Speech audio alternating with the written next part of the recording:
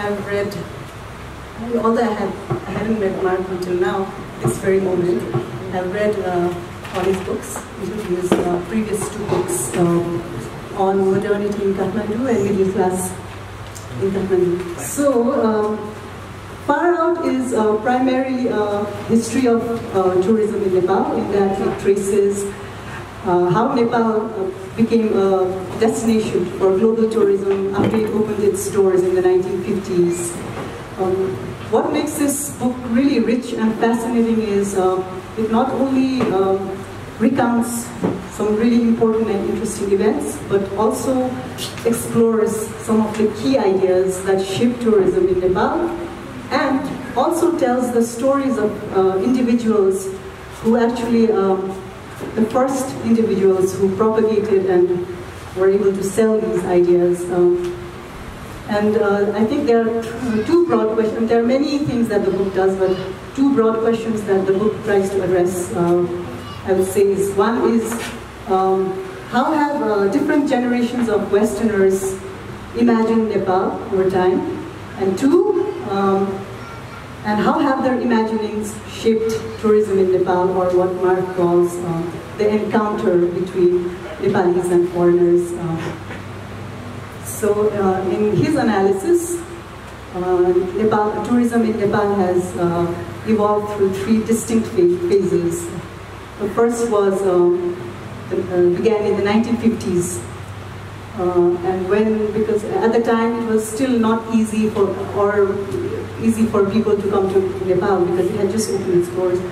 Uh, so few tourists were arriving here and they were mostly um, well-connected and wealthy European and American elites. Um, and for them, uh, Nepal was this um, pristine land far from Western civilization, um, land of mountains and festivals and royal coronations and yeti hunts. Uh, so in fact, uh, the first uh, proper hotel in Kathmandu called the Royal Hotel was uh, established during this period by the legendary Boris, Boris Lissanevitch.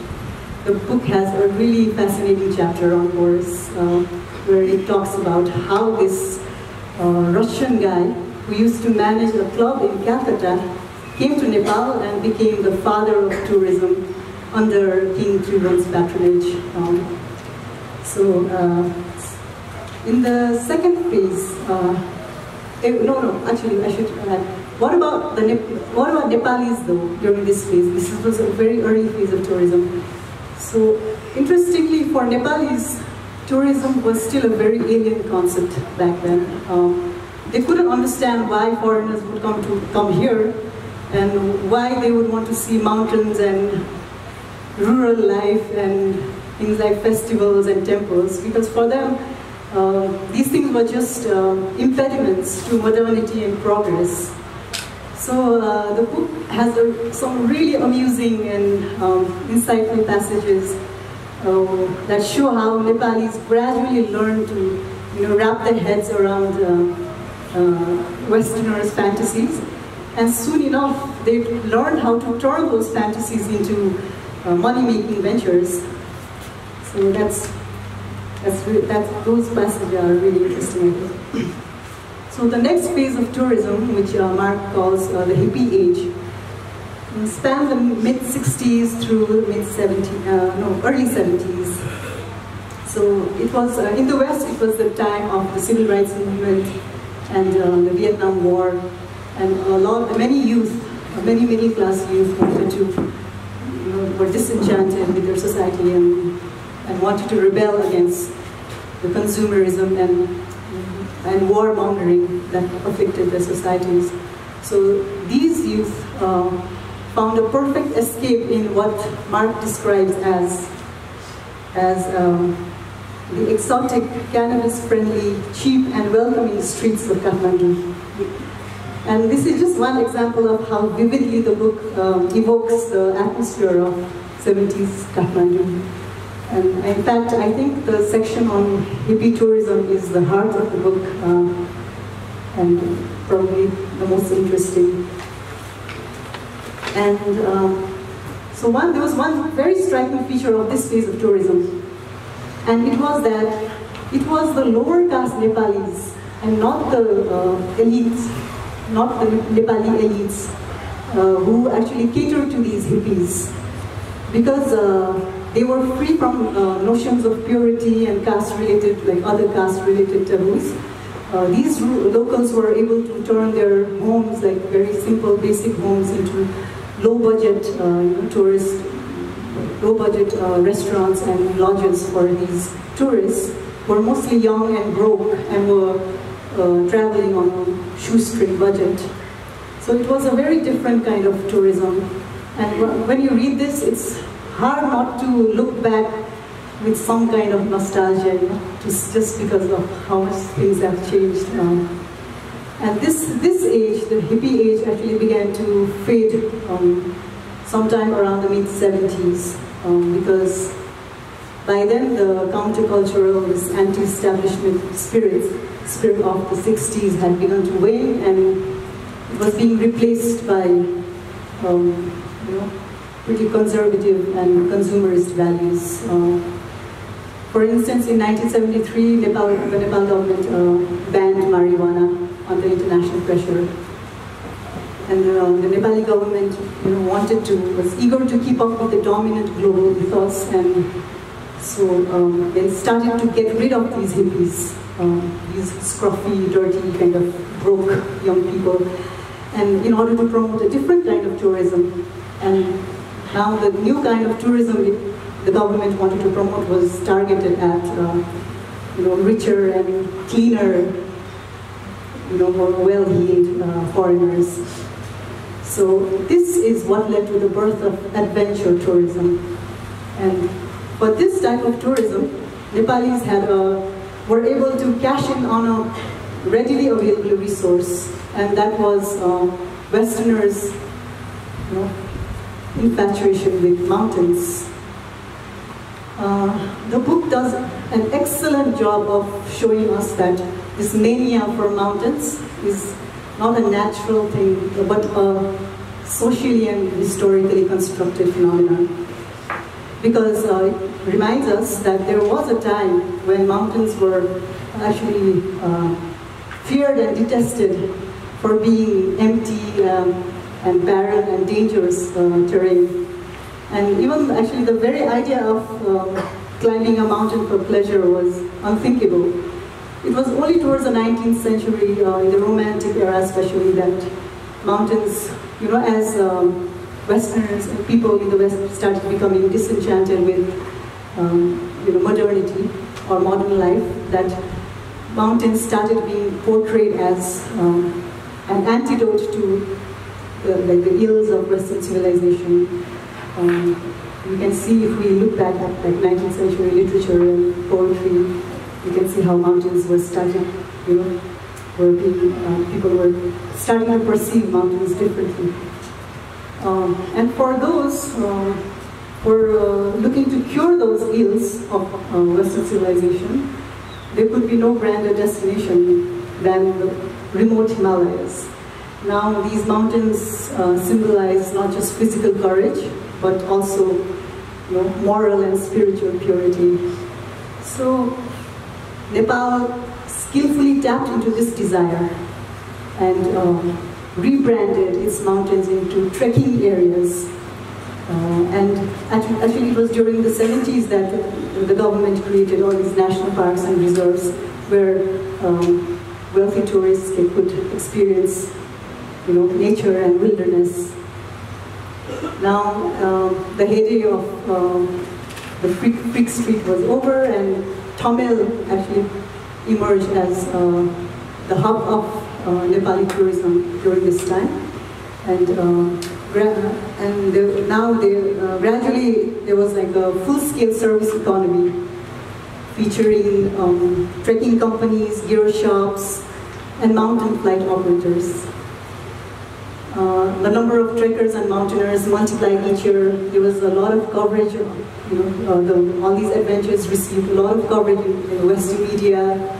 And um, some, some of these people also went back and wrote best-selling books and made movies about these adventures. So another interesting point that the book makes is how these adventure tourists differed from uh, the hippies. Actually, they differed in a crucial way. Again, I can't help putting the author here because there are so many passages in this book that I won't put. Mm. So he writes, a trek is something one not only does, but crucially buys. Unlike the hippies, trekkers came to Nepal in search of a commercial service, the adventure. So these trekkers were more cautious, less open to conversation, more afraid of being cheated, and seemingly less curious. There was also another difference, which is that hippies had little money but lots of time. So they could, you know, they could just hang about and laze around, mix with locals. They had to walk all over the city because there was not much public transportation back then. And uh, in contrast, these adventure tourists were cash rich but time poor. So meaning they wanted to squeeze out maximum experience within the shortest possible time.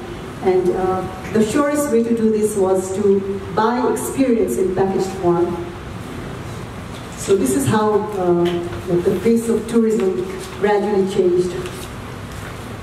Uh, there's another category of adventure tourists that the book examines, and which is equally interesting, and they are the dharma tourists, you know, foreigners who came looking for spiritual experience in um, an exotic landscape. Uh, so instead of spending money on trekking agencies and guides, these dharma tourists spend money on uh, meditation retreats and like lamas and gurus. So, so um, both the trekkers and dharma tourists are primarily interested in finding themselves rather than in more, I mean, they're interested more in finding themselves than in getting to know the place and people. I mean, at least that's what the book suggests. Um, and so, the craze for Buddhism and the obsession with mountains are essentially the same phenomenon. Uh, and actually the book has a really compelling section on how uh, Westerners turn Buddhism, which is actually, which actually denies the existence of a fixed self into this tool of self-therapy and you know, self-discovery. It was all about self and how actually, and how the Buddhists in response, actually especially Tibetan Buddhists, reimagined their religion to actually fulfill the quest of uh, these Westerners. Um, so it was like a two-way process. It was never a one-way process. Um, so we learned that uh, the famous Kopan Gumba in uh, was actually established in 1969 at the initiative of wealthy socialite who had led a glamorous life in Paris and New York, and then after being disillusioned with life, probably, uh, started, decided to strike out on a spiritual path.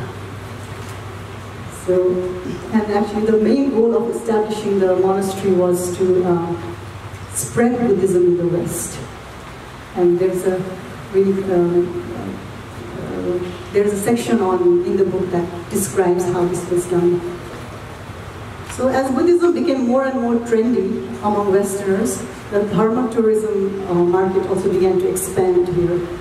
Um, and now we know where it is at, right? I mean, we all know that like meditation and yoga and mindfulness is now a global industry worth billions of dollars. Uh, and in Nepal, there are companies that offer things like spiritual adventure tours and yoga treks and enlightened travel. So as Mark writes, what tourists think of as a quest is for Nepalis an industry. And for me, I mean personally, I mean, this is one of the main takeaways from this book.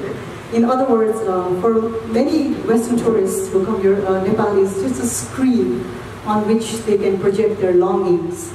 But it is not a passive screen. It is uh, because Nepalis are adept at harnessing those longings know, for, for their own purposes. So it's, again, it is an encounter, a two-way process. And this is, I think, something we constantly witness in Kathmandu and in other touristy areas of Nepal. And, and in fact, one of the reasons why this book resonated so strongly with me is because um, I have also constantly witnessed this on, I, I, I, I trek uh, I mean, I have trekked in many of the, most of the um, commercial trekking routes in, across Nepal, and um, although I enjoy it, all, I always feel that there's something, something um, incongruous and something uh, absurd about the whole experience. You know?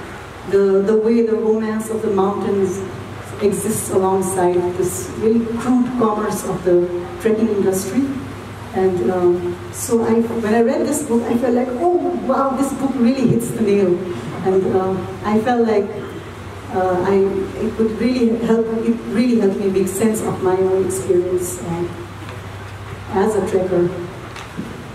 Um, but I must also add how readable and engaging this book is, uh, because I'm not sure if it's so easy to find academic uh, an academic work that I mean, I have uh, come across so many academic works that that can be written in such clear and you know, jargon-free language. Whatever theory that Mark draws on is um, blended so seamlessly into his argument, nothing seems you know, extraneous or clunky. So, and the book is filled with um, really sharp, witty, and astute observations, um, which again goes on to prove that a serious academic book doesn't always have to be stripped of style. And um, for me, uh, the book was also refreshing for another reason, and that is because most anthropological works on Nepal that I've come across, uh, especially by Western academics, focus on um, a particular ethnic community in a rural setting, uh, most or many. So, but this book, as well as Mark's previous two books, uh, examine phenomena that we in Kathmandu are very much a part of. Um, and it's uh, really interesting to see our immediate milieu become the object of analysis, uh, which was very different, I think, for me. And it's also remarkable how the book you know, manages to uh, cover an entire cross-section of Kathmandu society in the course of uh, analyzing, uh, you know, or exploring the history of tourism. So, for all these reasons and more, I think um, this book will be of interest not only to academics, but also to Nepali, ordinary Nepali readers. We will all find many things that we will connect with in this book, and, and in fact, to anyone else who's interested in Nepal or in the encounter between foreigners and people in our part of the world, I think, and that's what I think.